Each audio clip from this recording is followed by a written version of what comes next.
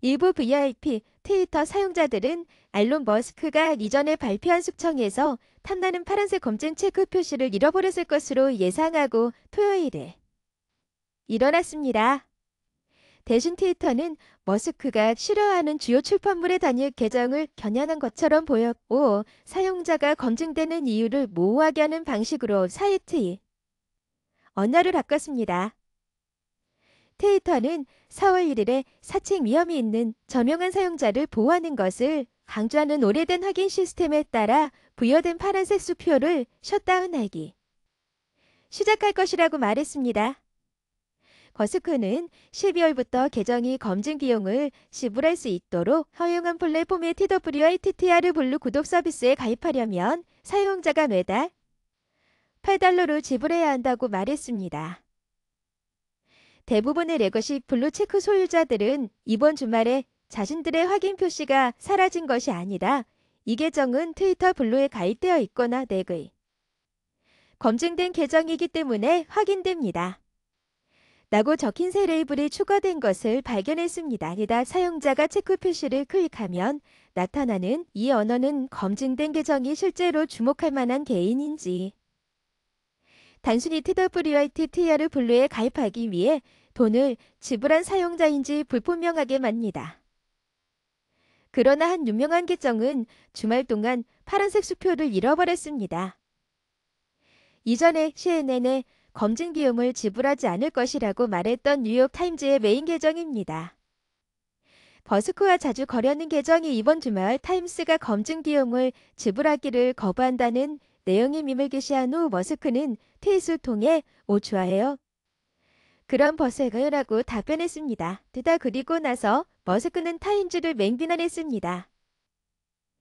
이 억만장작 언론인이나 언론사를 맹비난한 가장 최근 사례로 이 매체의 보도가 지루하고 선전이라고 주장한 일련의 트윗에서 주말의 움직임은 TW와 TTR가 기능 변경에 대해 사용자들에게 혼란과 채찍질을 일으키는 가장 최근의 예뿐입니다. 이 경우에는 일반 사용자뿐만 아니라 오랫동안 플랫폼의 주요 sales point가 되어온 많은 유명한 계정이 있습니다.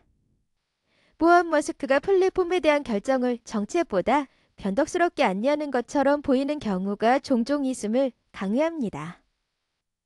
이로 뉴욕타임즈의 주요 계정이 파란색 수표를 잃었지만 예술, 여행, 그리고 책 내용과 같은 다른 계정들은 여전히 확인되었습니다. 뉴욕타임즈의 AP통신과 워싱턴포스트를 포함한 다른 뉴스 매체의 계정과 같은 금색 주지 체크 표시가 없는 이유는 분명하지 않습니다. blue check가 제거된 후 뉴욕타임즈의 대변인은 CNN의 검증 비용을 지불할 계획이 없다고 재차 강조했습니다. 지난해 가을 홍보 직원 대부분을 해고한 트위터는 논평 요청에 즉각 반응하지 않았습니다. 이와는 별도로 사이트 상단에 있는 트위터의 blue bird 로고는 월요일에 머스크가 홍보한 암호화폐 도게코인을 나타내는 meme인 도게로 대체되었습니다.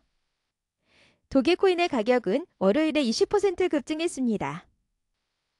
머스크는 지난해 가을 트위터를 산 직후부터 트위터의 옛 시스템으로 검증된 사용자들로부터 legacy blue check mark를 빼앗겠다고 위협해왔습니다.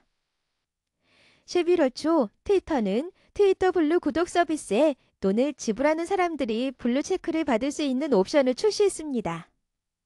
그 프로그램은 유명 인사들과 기업 흉내쟁이들의 물결에 시달린 후 빠르게 중단되었고 12월에 다시 시작되었습니다. 트위터는 또한 기업과 정부 기관을 위해 색으로 구분된 확인 시스템을 출시했지만 머스크는 개인 사용자들이 결국 파란색 수표를 지불해야 할 것이라고 계속해서 말했습니다.